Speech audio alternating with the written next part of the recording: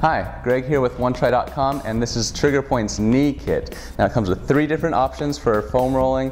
It comes with a foam block and it also comes with a DVD to educate you as far as all the different exercises and ways that you can use these items. This one here is for the upper leg, the quads and the hamstrings and such. This one's for the lower leg and this ball here you can use it to get into the places that are a little bit tougher and you need a little bit more acute pressure. You can find out all the information at our website, onetri.com.